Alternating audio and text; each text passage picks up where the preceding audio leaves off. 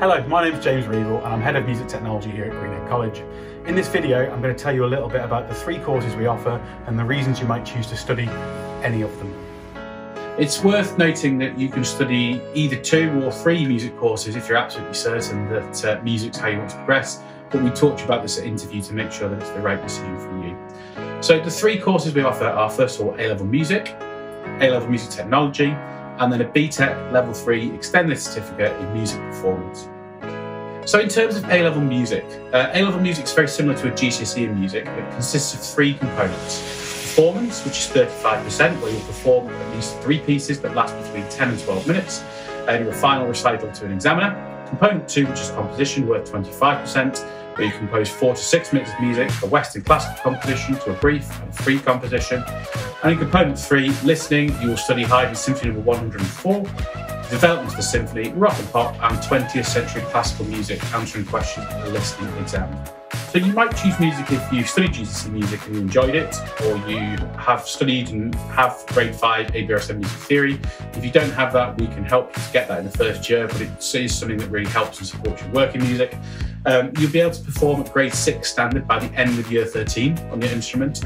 Um, and you probably have an interest in classical music. So a lot of the course is based on classical music, although with some rock and A-level music technology is a bit different because it doesn't actually include any performing necessarily. So if you like a wide variety of pop music and play an instrument to some degree to help people out with their recordings, um, want to learn how to use a recording studio or want to make your own music computers, this is a really good choice of course for you.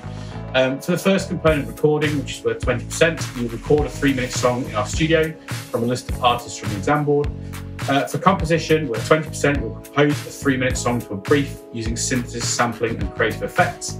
For component three, worth 25%, we'll sit a listening exam based on commercially released pop music um, and answer questions about how they use this technology. And for component four, producing, you'll create a mix from some STEM files and solve issues as part of that in practical tasks and perform some written tasks as well. So, some reasons you might choose to study A level music technology. Um, it might be that you enjoy listening to a variety of different styles of music, and you might want to learn more about their production. You probably enjoy using computers to make music to some degree, whether that's experience you've had at school or outside of school, um, and have some DAW, so digital audio workstation like Logic or GarageBand or Cubase um, skills, and be able to pick out a few things on the keyboard. You don't need to be um, a really amazing, brilliant keyboard player, but you do need to have some keyboard skills to play bits and pieces into the computer. Um, you also might be interested in technical theory, so things like how microphones work, acoustics, or synthesizers, and you'll learn more about this from the starting point um, when you study the course. BTEC is equivalent to an A level, uh, but it's a little bit different in how it works. Um, it focuses heavily on performance, and students will do an ensemble performance as a group and a solo performance on their instrument as well, writing an article about technique on their instrument and putting together a practice diary.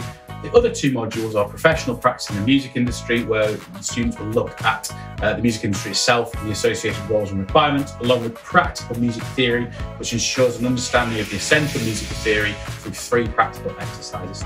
So some reasons you might choose to study BTEC music performance. Now the key thing, really, the most important thing is that you're a confident performer who enjoys performing in front of others because a lot of this course is to do with performance, so it really is important that you enjoy performing.